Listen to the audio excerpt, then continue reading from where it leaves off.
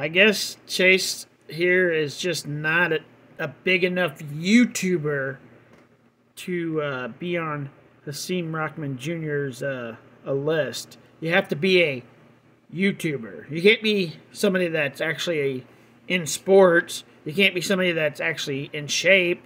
You can't be somebody that actually does boxing for a living. You can't be somebody that is bigger than him. Uh, you, have to be a YouTuber that just recently started boxing, and then Hasim Rahman Jr. will will will fight you. As long as you're a YouTuber, not an actual boxer or somebody that's in shape. You, you must be a YouTuber that just started boxing in order to fight this guy. This guy's sad. Like his father is a pro fighter that was a champion at one time. And this guy has been a joke in the boxing world.